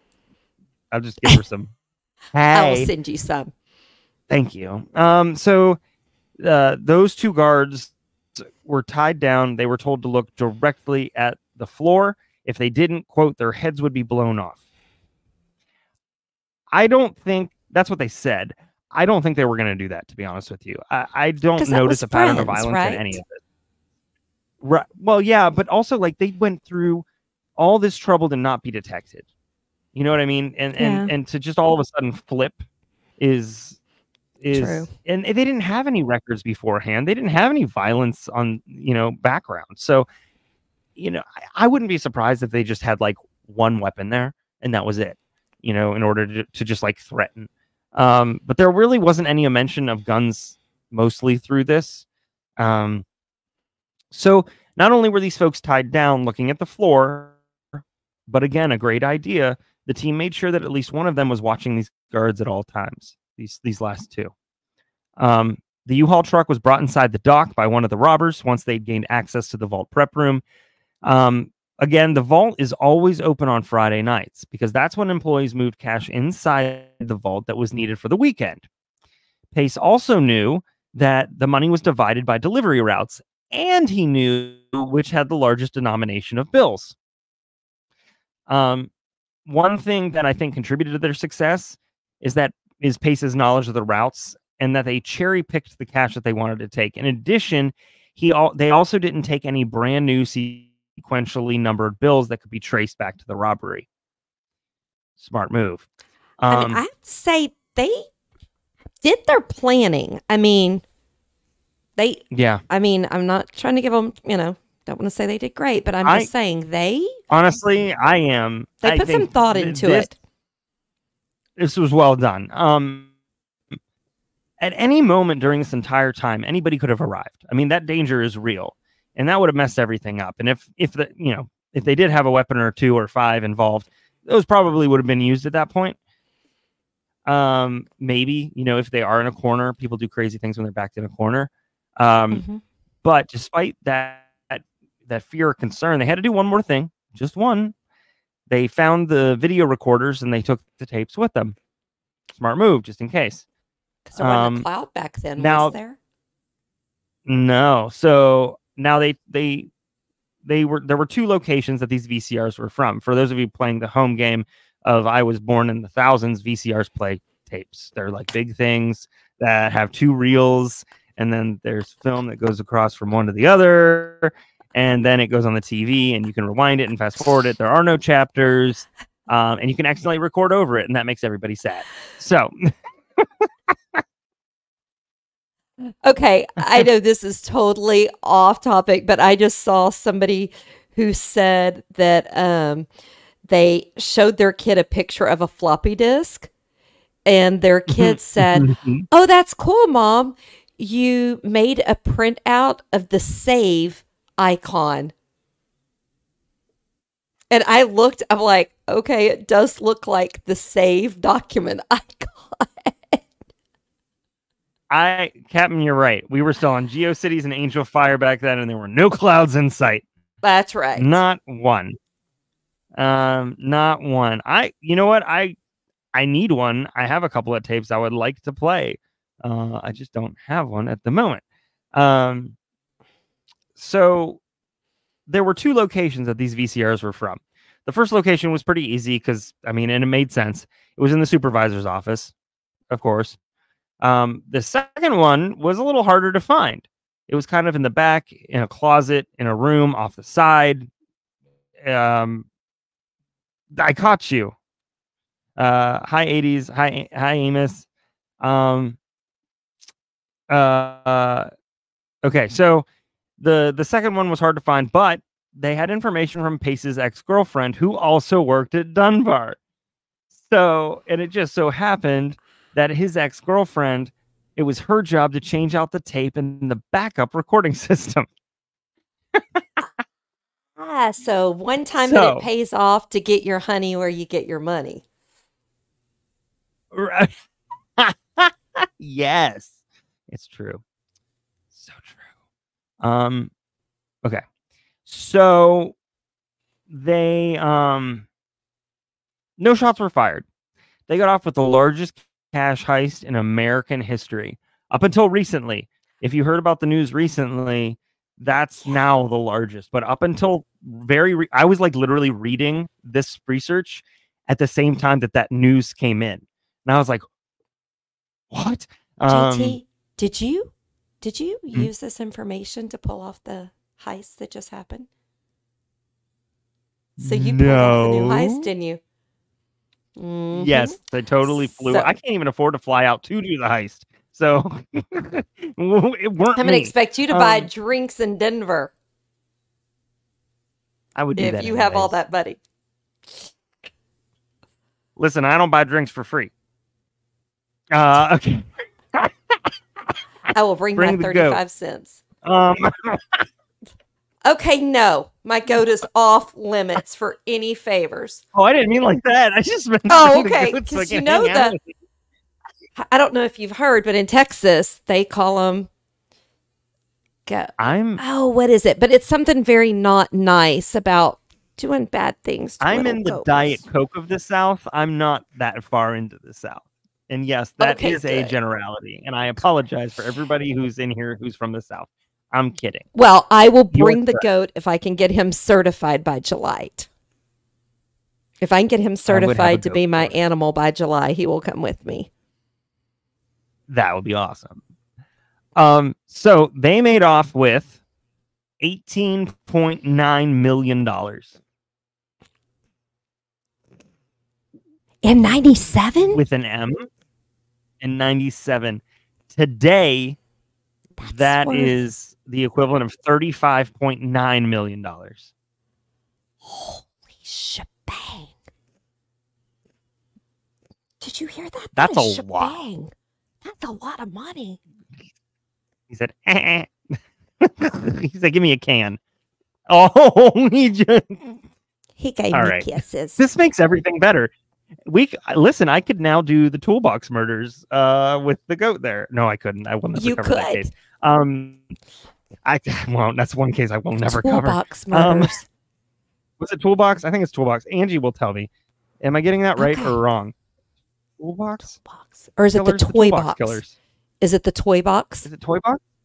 It might be toy I box. bet the you ones where the they had like that box. place to put them inside of. Cindy. And Cindy was her yeah. name, and hi yeah, no, we're not covering that. Yeah, no, I will never. I've always decided never to do that. Um, okay. Um, Am- Amos still has a Rolodex of floppies. I love it. Uh, that makes me happy on the inside and on the outside, as you can tell. Um, so while they were trying to figure out what to do with the money, the investigation started. But all they could really find was a plastic taillight lens that didn't really belong to any company vehicles. Uh, the FBI was able to connect that to ones that were used on 14 foot U-Haul trucks. But here's the thing that U-Haul truck was rented by Pace's buddy, who they don't have any reason to connect them, and he never worked at the ba- so it just it wasn't what so they didn't really get anything off of that anyway. So so what do they do? They're not going to spend it spend it lavishly. Uh, the money was being stored in trash bags because that's what you do with money. Um, yes, uh, each of them initially got a hundred thousand dollars, and Pace put the rest in a storage facility. Hundred thousand is just about one hundred and seventy thousand today. Uh, I'm not exactly sure where he got the um,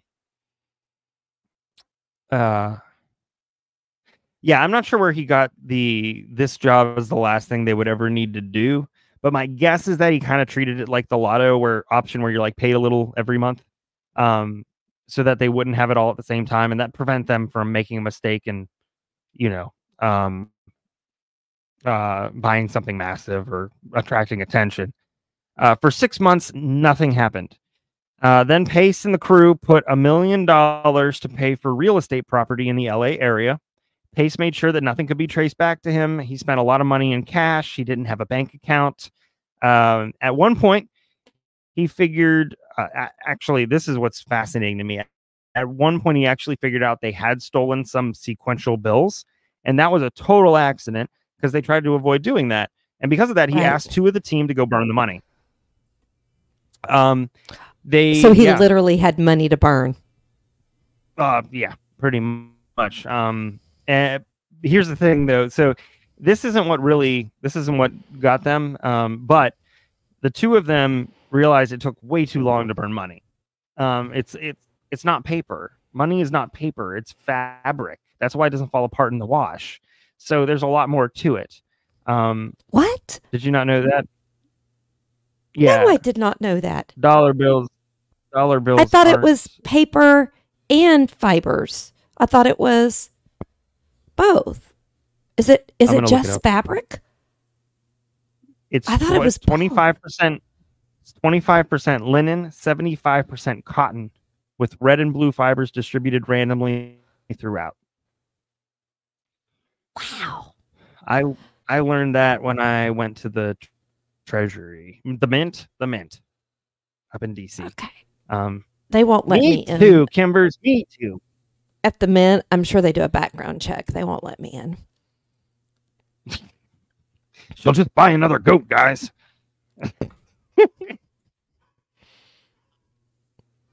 oh, it was. a Hey, when I win the lottery- um, I'm gonna have a bunch of goats when I win the lottery. if you win the lottery, I want one. And then I want you to move my family out to Texas, and we'll just And you we'll, can we'll have come- a compound. I mean, Yes. a neighborhood, not a co- certainly not a compound, a neighborhood. about a Texas farm? compounds? Not big fans of compounds. How about a farm? we could do a farm. Just a farm. the farm. Yeah, we'll we'll bring everybody to the farm. Yes, Terry can teach everybody uh, goat yoga. Um, Yeah, I don't do yoga. for sure. Sorry. I don't. I'm sure. Ooh, Yes. Shunka's got the. Pr- yes. Oh, but we got to add wine in there too. Because I would have grapes. True crime and wine estates. Yes. You know what? Forget it. You and we just need to open our own vineyard. That's true crime, like branded. Come on, that's, that's a that's an amazing idea. Okay, Yes. I don't know the first thing about it. Uh, I I like to drink. but it. we're not. um. So we're not going to serve cabrito, right? sure. No, that's goats. Isn't that what baby goat? Isn't Oh, that then- like goat meat? Then no. Of okay, course we're not. just not. making sure. No, no. In fact, uh, but Jasper Cover is going to be on our bottle for sure. Yes. Jasper will be on the bottle. Um. So, anyways, it took too long to burn the money, uh, and so they did what anybody else would do. They decided to spend it in Vegas. Why not? As Um, one does. now they did find out that new bills jam up slot machines because they're so crisp and you know difficult to get into the slot machine so they put it i don't know that's what it said in what i read so they put the cash in a washing machine to make it usable. So there you go. Makes sense. um, totally. Um the investigation went cold. Um pace ended up buying an office space. He set up a new company called extreme entertainment. On the surface it rented party equipment jet skis limos um, but it was actually a front to pay the crew more money right from that stolen money. So he hired them and that's what he used to dole it out. Uh, what pace didn't realize is that hill who happened to be the same guy who rented the u-haul but hill gave a middleman $100000 to buy the property but failed to remove the cash stra- straps. Oh,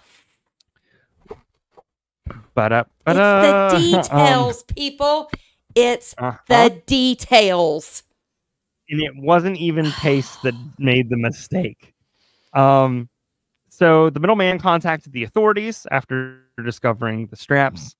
Uh, they determined that uh, from the dates on the straps that that was the money taken.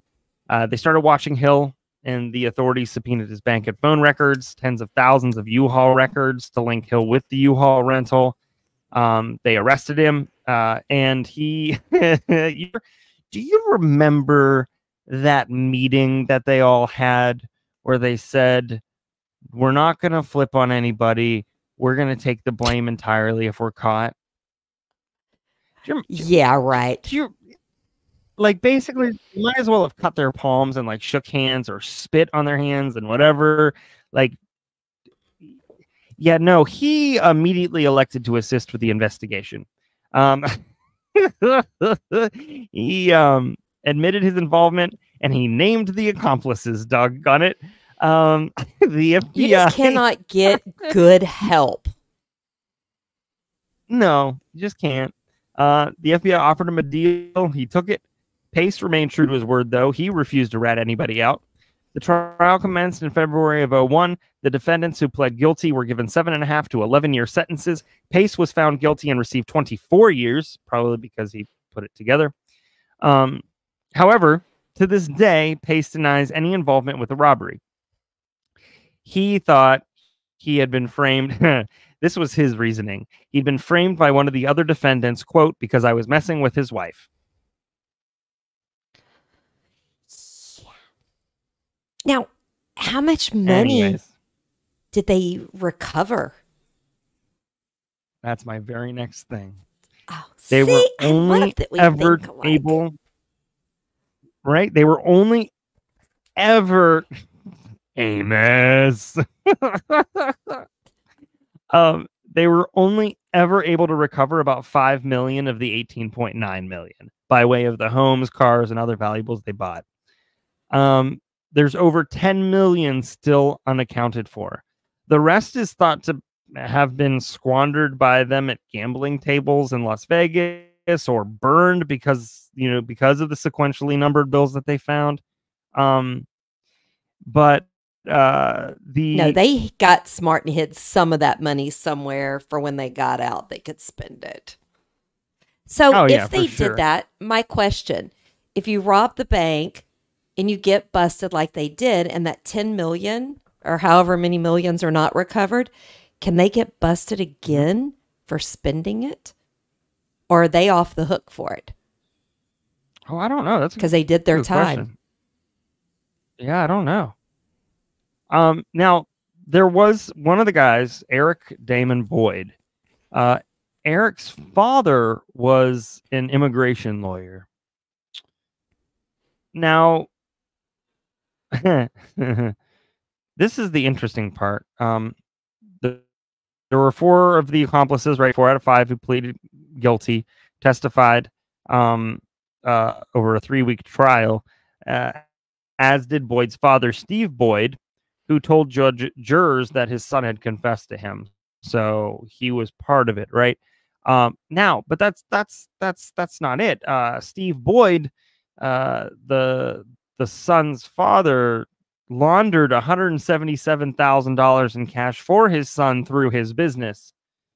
So Oh, So, so, did he he get his at least law license taken away? I believe that he did. Um, Good. Now, Pace and Boyd were sentenced on April 23rd, 2001, um, sentenced later with the other accomplices. But this is one of the most intricate, methodical, and brilliant cash robberies that has ever been committed up until this point.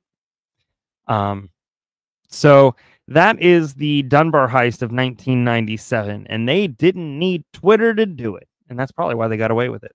Uh, so That I mean, if yeah, it wasn't just those darn money bands, I I have to be honest, I wouldn't have thought that the money bands were traceable.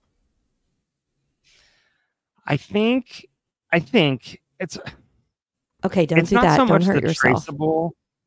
Right. I, I'm gonna hurt myself. I think it's not so much the traceable; it's the fact that it was very suspicious that he received a bunch of money wrapped in multiple bands.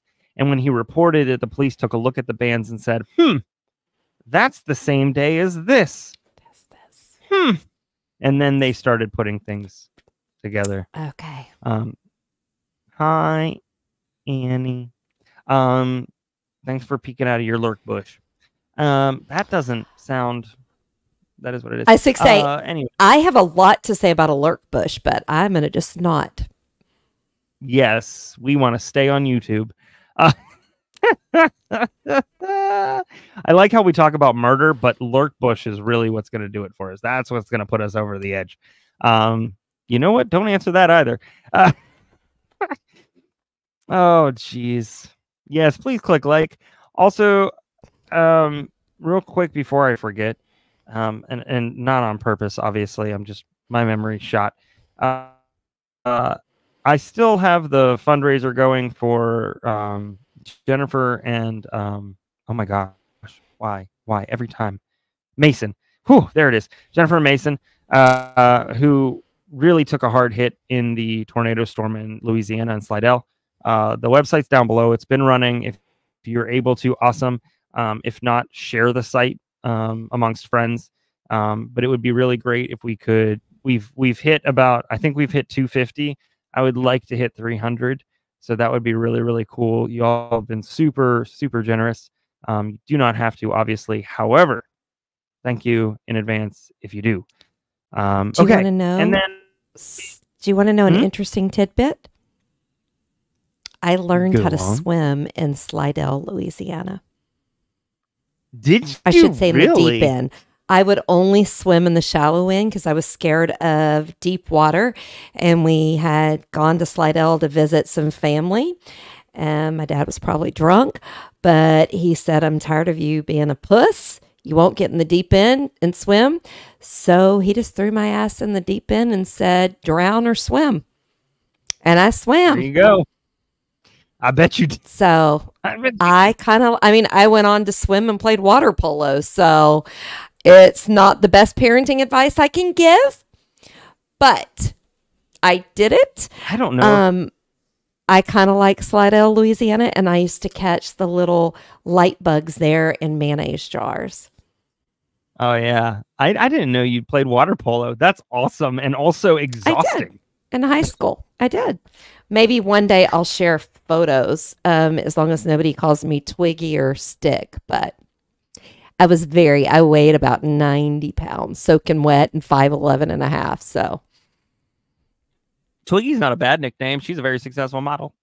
So, um, yeah, but you could see her ribs. But yeah, I swam and played water polo. oh well, I don't know that much about her.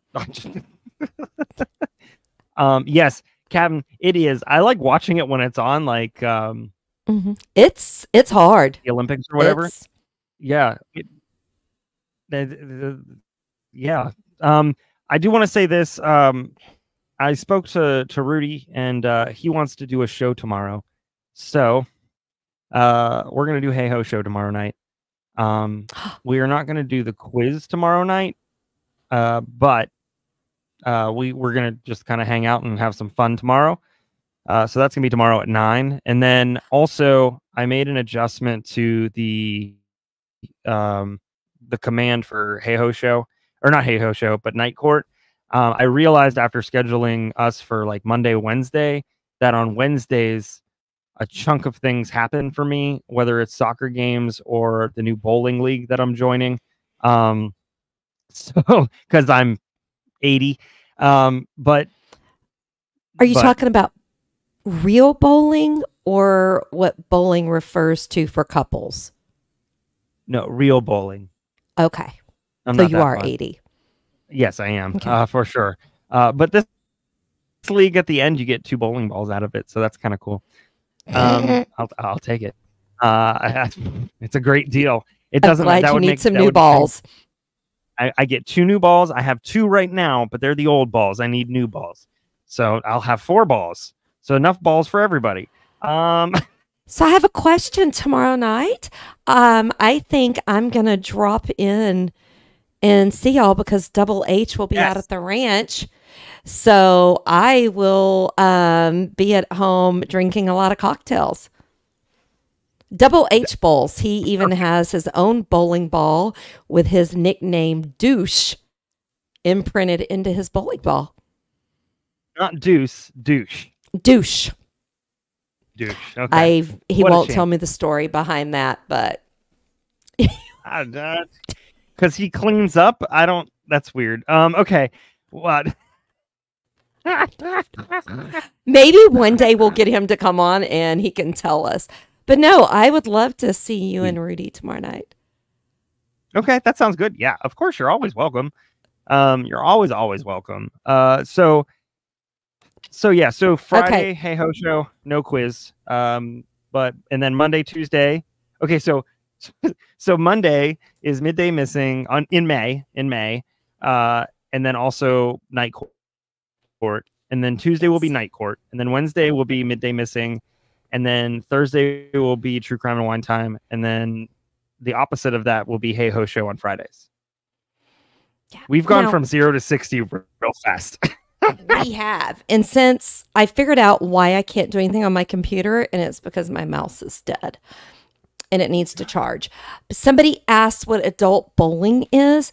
So, bowling here in Texas, when I grew up, that meant your parents were doing shake a bow bow wow wow.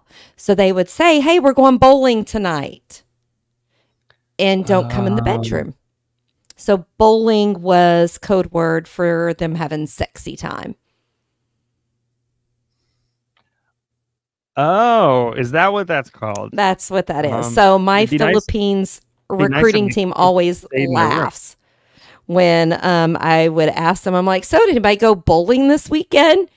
And they didn't know what that meant. And I told them, and they were like, "Oh, Miss Terry, you can't ask us that." You know, I was always told that like when thunder hit, it was the Angels bowling, and now I have a completely different thought as to what that means. Um, I was told that was my grandparents bowling. oh, hmm.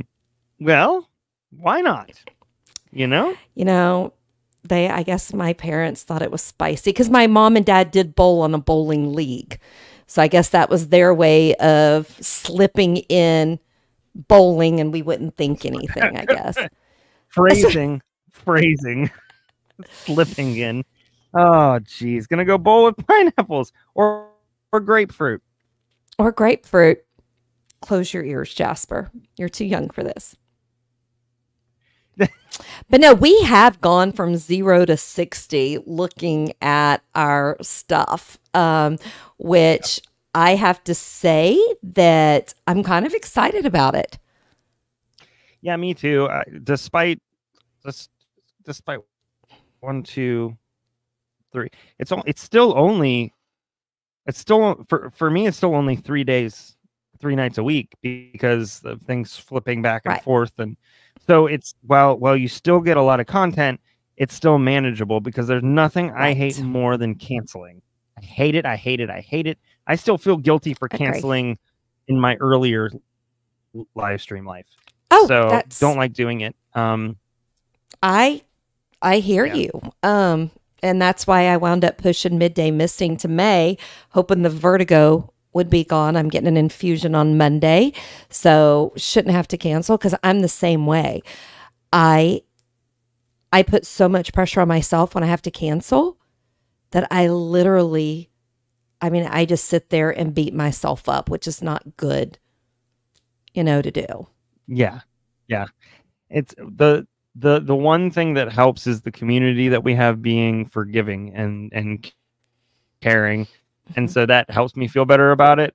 But if I don't have to, I don't want to. Of course, life Right. happens. So, um, but yeah, Yeah, Like yeah. I even told the group because I popped onto the midday yesterday because we forgot to take it down and told them that even if vertigo hit tonight, I was going to do it from my bed in my pajamas. And yes, I would put pajamas on since I don't sleep in pajamas, but I would put pajamas on to be on YouTube so they wouldn't try to refer us to OnlyFans because we don't need to see any white beached whales on YouTube.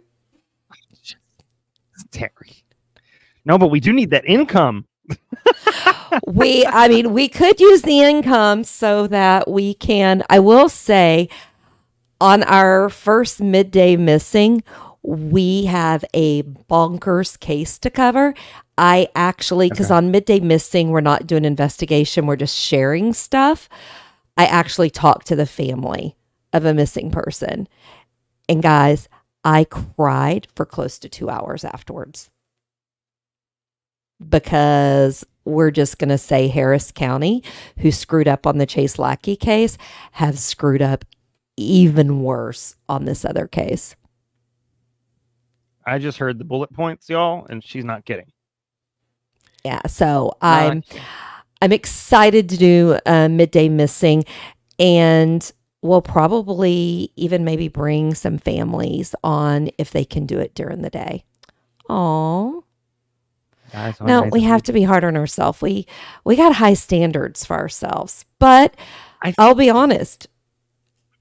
We're going to bring this new content. We're going to only reschedule if we have to.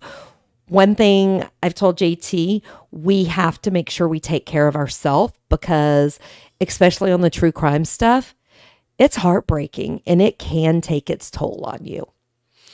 And I will Yeah. tell you the missing midday, that's why we're going to keep it 30 to 45 minutes, hour tops, because it's heartbreaking. It's, and I take everything so personal. I mean, I have cried myself to sleep over Chase Lackey. I feel like I know him because of his family and friends. And this isn't even my kid. And I cry about him. So it's, it's hard. And that's why I'll be honest, guys, every time we finish a live stream, I go take a bubble bath because I have to do something to just try to erase my mind. And I just listen to some good old country music and lay my head back. Yeah, I think, and you know, you have a perfect time too for it because it's really when a lot of course courts go in re- recess for lunch, and so Mhm. instead of like staring at an empty chair from somebody else or a live like Right. you know whatever, it, it's it, you can hop over to us and then hop whatever you want to do. Mhm. So it's a it's a really good good spot for it, um, and I think that that's when most people are going to be able to take a break from where they're at and and and experience those stories, and maybe they know something. Um, you never know. You never know. You never know. And I mentioned this yesterday, episode two of True Crime and Wine Time. When I started it and I did it by myself, I covered Kimberly Langwell, who is missing out of the Golden Triangle, Beaumont, Port Arthur, Port Neches area. And I did research.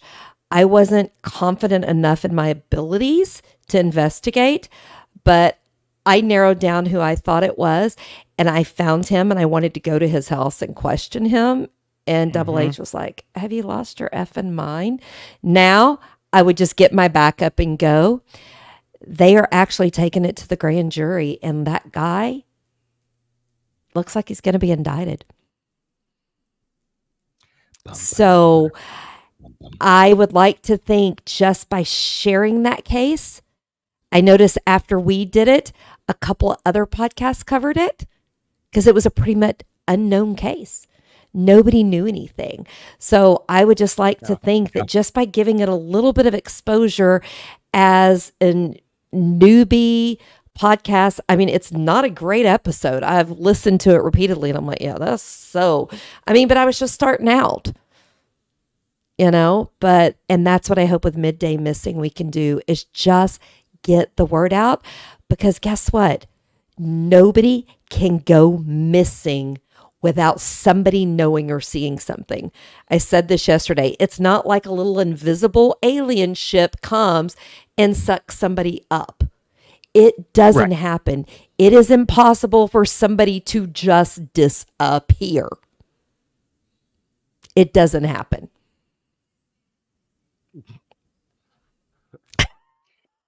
Sure does. Sure does. does. you know, at some point I'll get I'll get uh, brave enough to where just for fun, for like a fun evening, I'll just stream our bowling night from the bowling alley. It'll be fun. Why not? That would be fun. Give you some more time. You can hang out with me, Rudy, and my buddy Billy, and you can see how bad I am, and it'll be fun. That'll be fun. But you know what?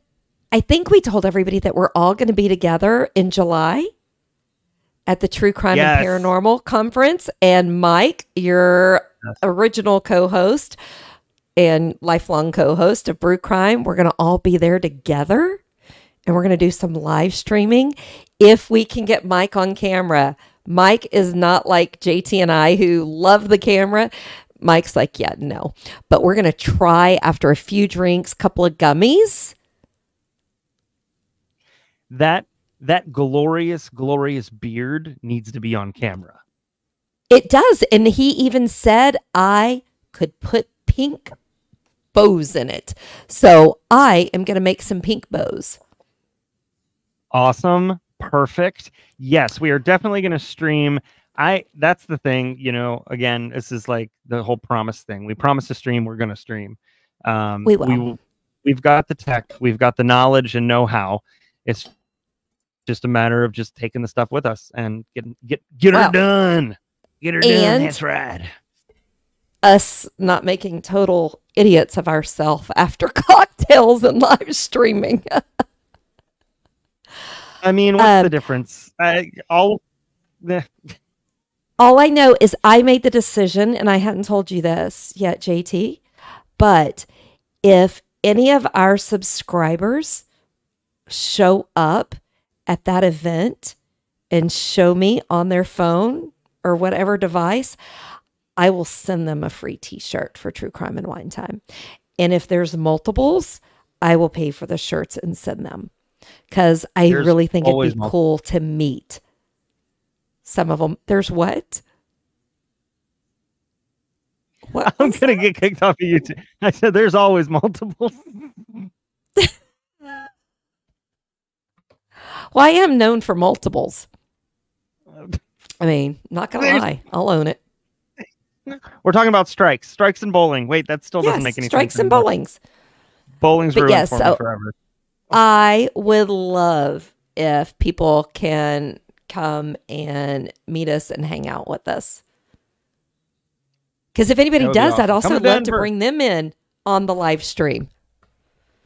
Bring the multiple. That's exactly what the judge said. Yeah, you know, maybe um, for, depending on where everybody lives, just get a convoy together and drive to Denver. That's a fun drive too. I, I That I'm would be a fun drive. Yeah. yeah. So All right, it'll be well- exciting. Oh, for sure. One way or Maybe we can go another. bowling while we're time. in Denver. I won't say no, but I'm not gonna Real bring my bowling. I mean, I am, but I'm not. Not gonna bring my. Okay, You, you know what I I need to clarify. Real bowling. Yes. I'm sharing a room with somebody, but it ain't for that. So if it is, I do not need to know. But no, I'm excited. I Ma'am. think taking a break and just doing thing every other week is good. Um, and I think you doing night court a couple of nights instead of trying to doing four or five makes more sense. Now, when we get to where we can both quit our jobs and do this full time, heck, we can stream eight hours a day. that would be the ultimate goal. That's what we would love to do. Um, we got a little ways to go on that one, but that's okay. We do. Okay. Hey, but we all got to have goals. Uh, it's true. It's true. Also, I don't I don't go bowling at conferences. That's how you get um I'm gonna bring this back full circle right now. That's how you get chlamydia. I thought you- you, got listen. that from koala bears. You only want to take away from conferences like that um stickers and uh fun stuff. You you don't want to take chlamydia away from a conference, but that is how that happens. So um you know, don't don't do that. Yeah. Um, I don't want to bring back anything contagious. From the Uh, conference. yeah, no. No, no, no. So, but right. I think it's going to be exciting and it'll be exciting to see you tomorrow night. Yes, yes, excited. Everybody come on back. We'll be here. Um, hit the little reminder button. Um, and it I already scheduled it, so it should be up now. Um, and and uh, we will see you then. All right. Uh, I I will finish up with take care of yourself, your friends, your family, your community. Um, don't let anybody dull your sparkle and shine on you crazy diamonds. And I'm going to say, as always, stay safe, watch out for crime, and enjoy your wine time. Bye, everybody. Bye, guys. Thank